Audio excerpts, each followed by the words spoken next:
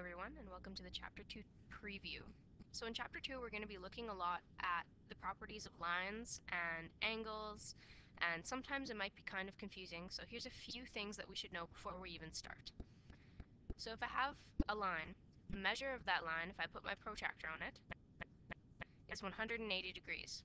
Now remember, to measure with a protractor, we place our T on a point, and we measure counterclockwise. So this is 0, all the way to 180 degrees. So if I split this line into two pieces by drawing an intersecting line, I now have that the whole line is equal to the sum of this angle plus this angle. So let's take my protractor and measure what one of these angles are. So I place my T on the intersection of the points and I measure counterclockwise. So here's my zero, and I'm going to measure this big angle, which looks to be... Oh, it's not quite right yet.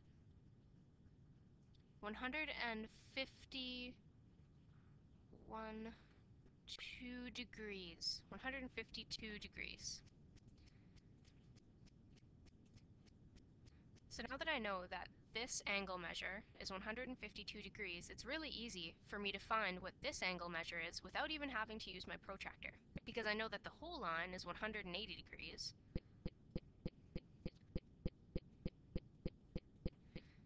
And I know that this part is 152 degrees. So 180 degrees equals 152 degrees plus, let's call this angle mm, beta. That's a Greek angle beta. So now to find beta by myself, if you remember your algebra rules, we need to subtract 152 degrees from both sides, and we get we get 28 degrees is equal to beta. So beta is 28 degrees. Something else we should note when two lines intersect like this, the angles that are called vertically opposite are equal.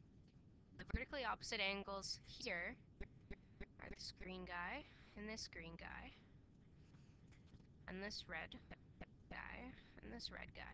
Those are called vertically opposite because they're on opposite sides of the x.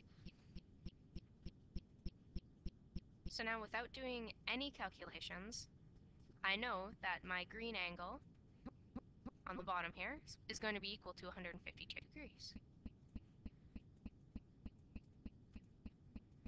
I know that my red angle right here is going to be equal to 28 degrees because they're vertically opposite.